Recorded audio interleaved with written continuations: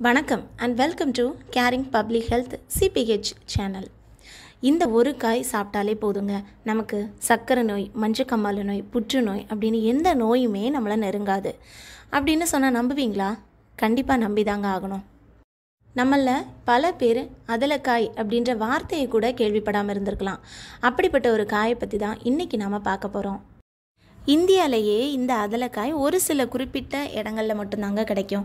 நம்ம தமிழ்நாட்டை பொறுத்த வரைக்கும் மதுரை விருதுநகர் இந்த மாவட்டத்தை சுற்றி இருக்கிற பகுதிகளில் மட்டும்தான் இதை பார்க்க முடியும். வேறு எங்கேயுமே இதை பார்க்க முடியாது. இந்த அதலக்காய் பாகக்காய் வெரைட்டியை சேர்ந்தது. இது மழை காலத்தில் அதிகமாக வளரும். நிறைய இடங்களில் பார்க்கலாம். விவசாயிங்களுக்கு முதலீடே இல்லாமல் அதிகமான லாபம் தரக்கூடிய ஒரு பயிர் வகை அப்படின்னா இந்த அதலக்காய் தான்.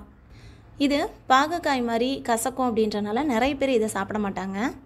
ஆனால் இதை சாப்பிட்றதுனால கிடைக்கக்கூடிய நன்மைகள் தெரிஞ்சிச்சு அப்படின்னா இதை சாப்பிடாம யாருமே இருக்க மாட்டாங்க. உலகத்தில் வேறு எந்த நாட்டிலையும் விளையாத ஒரு காய்னா இந்த அதலக்காய் தான். எல்லா நோய்க்குமே மருந்து எடுத்துக்கிறத விட நம்ம சாப்பிட்ற சாப்பாட்டிலே சரி பண்ண முடியாதா அப்படின்றது தான் எல்லாருடைய கேள்வியாக இருக்கும். அந்த கான்செப்ட் தான் சித்த மருத்துவத்தில் உணவே மருந்து மருந்தே உணவு. அதுக்கு ஒரு பெஸ்ட் எக்ஸாம்பிள் இந்த அதில் எடுத்துக்கலாம். சர்க்கரை நோயாளிகள் அதாவது டயபெட்டிக் பேஷண்ட்டுக்கு ஒரு வரப்பிரசாதம் அப்படின்னே இந்த அதலக்காயை சொல்லலாம். அதலக்காயோட மேல் தோலை எடுத்துகிட்டு உள்ளே இருக்கிற அந்த பகுதி இருக்கு இல்லையா சதை பகுதி. அதுதான் நம்ம உடம்புக்கு இன்சுலின் மாதிரி அதாவது நம்மளோட ரத்தத்தில் இருக்கிற சர்க்கரையோட அளவை கட்டுப்பாட்டுக்குள்ளே வைக்கிறதுக்கு இன்சுலின் தான் ரொம்ப முக்கியமானது. அந்த மாதிரி ஒரு வேலையை செய்யக்கூடியதான் இந்த அதலக்காய் type one diabetic type two டயபெட்டிக்னு எந்த வகையான சர்க்கரை நோயாக இருந்தாலும் இந்த அதலக்காயை சாப்பாடாக சாப்பிடும்போது சர்க்கரையோட அளவு ரத்தத்தில் கம்மியாகுது. நம்ம உடலுக்கு எல்லா வகையான ஊட்டச்சத்துக்களையும் கொடுக்கக்கூடிய ஒரு ரெண்டு விதமான சுவைகள் அப்படின்னா கசப்பு சுவையும் துவர்ப்பு சுவையும். கசப்புக்கு எக்ஸாம்பிள் பாகக்காய் துவர்ப்புக்கு வந்து வாழைப்பூ வாழைத்தண்டு இதெல்லாம். நார்மலாகவே கசப்பான பொருட்கள் சாப்பிடும்போது நம்ம உடலுக்கு அதிகமான ஊட்டச்சத்து கிடைக்கும். இந்த வைரஸ் பாக்டீரியா இதெல்லாமே எதிர்த்து போராடக்கூடிய தன்மை அதாவது நோய் எதிர்ப்பு சக்தியை அதிகமாக கொடுக்கும். இன்டைஜஷன்னு சொல்கிறக்கூடிய செரிமான கோளாறே நமக்கு வராது. சின்னவங்களுக்கும் பெரியவங்களுக்கும் வயத்தில் இருக்கக்கூடிய சின்ன சின்ன புழுக்கள் பூச்சிகள் எல்லாத்தையும் வெளியேற்றுறதும் இந்த கசப்பு சுவை தான் இப்போ நான் சொன்ன எல்லா நன்மைகளையுமே அதலக்காயிலேருந்து கிடைக்கக்கூடியதான் முக்கியமாக அதலக்காயில் இருக்கிற இந்த கசப்பு சுவை நம்ம உடலில் இருக்கக்கூடிய ஹார்மோன்களை சரிப்படுத்தக்கூடிய தன்மை கொண்டது. இந்த அதலக்காயை சாப்பிடும்போது நம்மளோட உணவு பாதைன்னு சொல்லுவோம் இல்லையா? நம்ம சாப்பிட்ற சாப்பாடு உள்ளே போகிற பகுதி தான் உணவு பாதை. அதிலிருந்து வயிற்றில் இருக்கக்கூடிய எல்லா கழிவுகளையும் வெளியேற்றுது இதனால் நமக்கு வயிறு சுத்தமாகும். செரிமான சம்மந்தப்பட்ட எந்த பாதிப்பும் நமக்கு வராது. ஃப்ரீயாக வந்து மோஷன் போகிறதுக்கும் எந்த ப்ராப்ளமும் இருக்காது. நம்ம உடம்புல இருக்கிற கல்லீரல் அப்படின்ற பகுதி வந்து சுத்தமாக இருக்கும்போது தான் நம்ம உடம்புக்கு எந்த விதமான பாதிப்பும் இருக்காது. அதனால தான் நம்ம உடம்புல இருக்கக்கூடிய கழிவுகளை முதல்ல வெளியேற்றிட்டு அந்த நோய்க்கான மருந்துகளை கொடுப்போம்.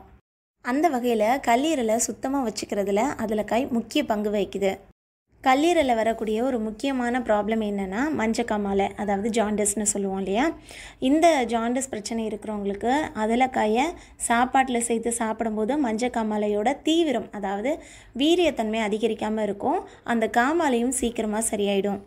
பாடி ரொம்ப ஹீட்டாக இருக்குன்னு சொல்லுவாங்க. எனக்கு உடம்புல எரிச்சலாக இருக்குது குத்தலாக இருக்குது அப்படின்னு சொல்லுவாங்க. இந்த மாதிரி பிரச்சனை வந்து நம்ம உடலுக்கு நிறைய வகையான ப்ராப்ளம்ஸை க்ரியேட் பண்ணுறதுக்கான ஒரு ரீசனாக இருக்கும். இந்த பிரச்சனைகளை சரி செய்கிறதுக்கு நம்ம அதலக்காயை சாப்பாட்டில் சேர்த்துக்கிட்டாலே போதுங்க. அட்லீஸ்ட் வாரத்தில் ரெண்டு நாளாச்சிலும் இந்த அதலக்காய் சாப்பிடும்போது எனக்கு உடம்புல எரிச்சலாக இருக்குது ரொம்ப பாடி ஹீட்டாக இருக்குதுன்னு சொல்கிற எல்லா பிரச்சனையும் சரியாகும். அதனால் வரக்கூடிய சில நோய்களும் நமக்கு வராமல் தடுத்துக்கலாம். பாடி வெயிட் கம்மி பண்ணணும்னு நினைக்கிறவங்களுக்கு அதலக்காய் ஒரு பெஸ்ட்டு மெடிசனுங்க இதில் ரொம்ப அதிகமாகவே நார்ச்சத்துன்னு சொல்கிற ஃபைபர் கண்டென்ட் இருக்குது இது நமக்கு பசி எடுக்குது அப்படின்ற உணர்ச்சியை கட்டுப்படுத்தும். இதை கொஞ்சமாக சாப்பிட்டாலே நிறைய சாப்பிட்டோம் அப்படின்ற ஃபீல் வரும். இதனால் நிறைய சாப்பாடு சாப்பிட்றது கம்மியாகும். இதில் கலோரிஸும் ரொம்ப கம்மி. ஒரு கப் அதலக்காயில் பதினாறு கலோரிஸ் மட்டும்தான் இருக்குது அதனால் வெயிட் லாஸ் பண்ணணும்னு நினைக்கிறவங்களுக்கு அவங்க சாப்பிட்ற டயட் லிஸ்ட்டில் இது முக்கியமான பொருளாக இருக்கணும். அதலக்காயில் கால்சியம் பொட்டாசியம் ஜிங்க் அப்படின்னு நிறைய சத்துக்கள் இருக்குது இந்த சத்துக்கள் எல்லாமே கேன்சர் செல்ஸ் இருக்கு இல்லையா? புற்றுநோய் செல்கள் எல்லாமே நம்மளோட ரத்தத்தில் வளராமல் தடுக்கக்கூடிய தன்மை இந்த அதலக்காய்க்கு இருக்குது நம்ம உடம்புக்கு தேவையான எதிர்ப்பு சக்தி இம்யூனிட்டி பவரை கொடுக்கறதுனால புற்றுநோய் செல்களோட பாதிப்பை தடுத்து புற்றுநோய் வராமல். பாதுகாக்குது.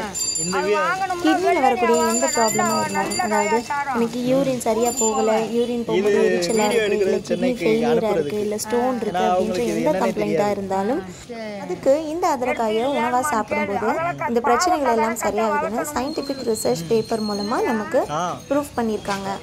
எய்ட்ஸ் நோய் கூட இந்த அதலக்காய் ரொம்ப யூஸ் ஆகுதுங்க. நம்ம ரத்தத்தில் இருக்கிற நோய் எதிர்ப்பு சக்தியை கம்மி பண்ணி நம்ம உடம்புல இருக்கிற எல்லா பார்ட்ஸும் வேலை செய்ய விடாமல் தடுத்து நிறைய நோய்கள் ஒன்றா சேர்ந்து கடைசியில் டெத்து வரைக்கும் கொண்டு போகிறது தான் எய்ட்ஸ் அப்படின்ற நோய். அதற்காக எய்ட்ஸ் நோக்கி எப்படி ஹெல்ப் பண்ணுது அப்படின்னு கேட்டிங்கன்னா இது சாப்பிடும்போது நம்ம உடலில் இருக்கிற ரத்த சிவப்பணுக்களோட உற்பத்தியை வந்து இன்க்ரீஸ் பண்ணுது.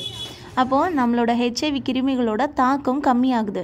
ஸோ இன்ஃபெக்ஷன் எல்லாமே கம்மியாகும்போது மற்ற டிசீஸ் அதாவது மற்ற நோய்கள் எல்லாமே ஒன்றா சேர்றது தடுக்கப்படுது. ஸோ எய்ட்ஸ் நோய் இருக்கிறவங்க கண்டிப்பாக இந்த அதலக்காயை உணவில் சேர்த்துக்கோங்க. இந்த அதலக்காயை அதிகமாக சாப்பிடும்போது கருக்கலைப்பு அதாவது அபோஷன் ஆகிறதுக்கு சான்ஸ் இருக்குது அதனால் கர்ப்பமான பெண்கள் இதை கண்டிப்பாக சாப்பிட வேண்டாம்.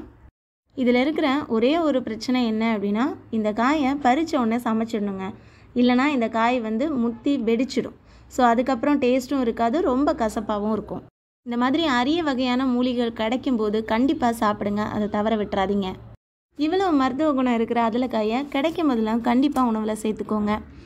இந்த தகவல் பயனுள்ளதாக இருந்துச்சுன்னா மற்றவங்களுக்கும் சொல்லிக் கொடுங்க. இதை பற்றின டவுட்ஸ் இருந்தால் CPH Tambaram at Gmail dot com அப்படின்ற ஐடிக்கு மெயில் பண்ணலாம். டிஸ்பிளேயில் தெரிகிற நம்பருக்கு கால் பண்ணி டவுட்ஸ் கிளியர் பண்ணிக்கலாம். இந்த நாள் இனிய நாளாக அமைய என்னுடைய வாழ்த்துக்கள்.